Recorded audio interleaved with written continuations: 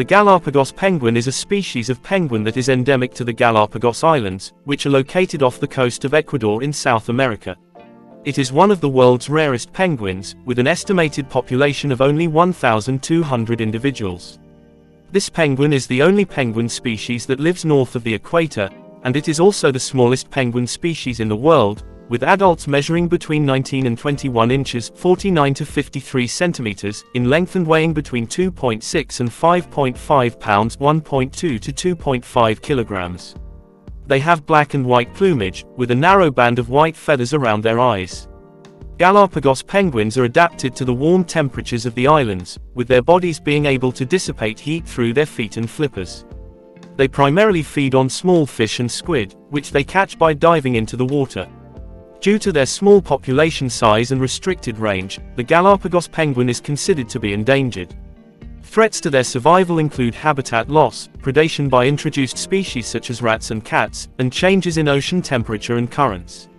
Conservation efforts, such as the eradication of invasive species and the establishment of marine protected areas, are being undertaken to help protect this unique penguin species. In addition to their small population size and restricted range, the Galapagos penguin faces a number of other threats.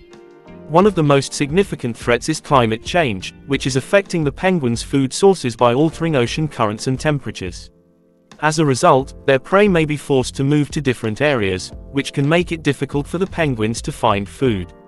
Additionally, warming waters can cause harmful algal blooms, which can poison the fish and other marine organisms that the penguins eat.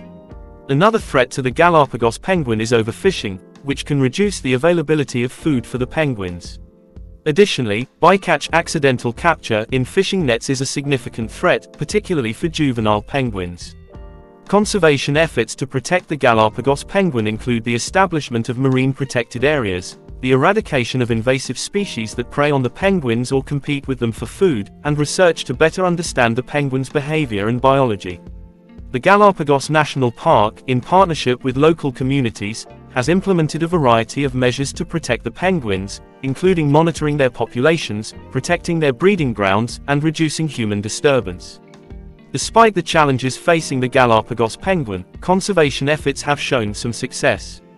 For example, the establishment of protected marine areas has helped to improve the availability of food for the penguins, and the eradication of invasive species has reduced predation on the penguins. However, continued efforts are needed to ensure the long-term survival of this unique and endangered species.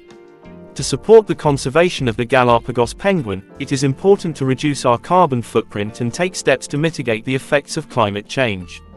This includes reducing our use of fossil fuels and supporting renewable energy sources, as well as advocating for policies that address climate change on a global level. Overall, the Galapagos penguin is a unique and endangered species that faces a range of threats. However, with continued conservation efforts and support from individuals and organizations, we can work to ensure the survival of this remarkable species for generations to come.